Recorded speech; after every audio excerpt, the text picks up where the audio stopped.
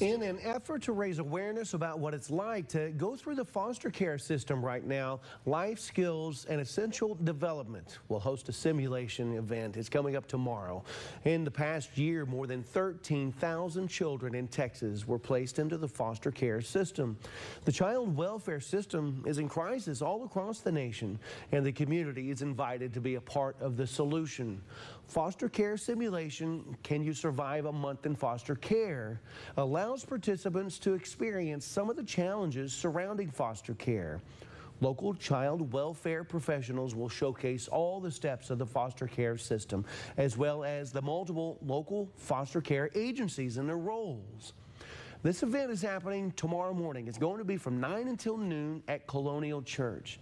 And details on the required registration can be found over at TexOma's homepage.com.